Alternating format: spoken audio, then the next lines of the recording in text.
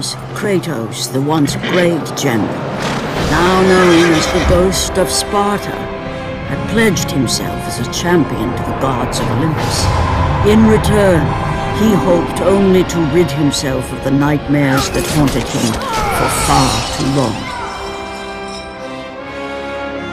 But for now, his only respite, his only relief from the sins of his past, was found in the heat of battle.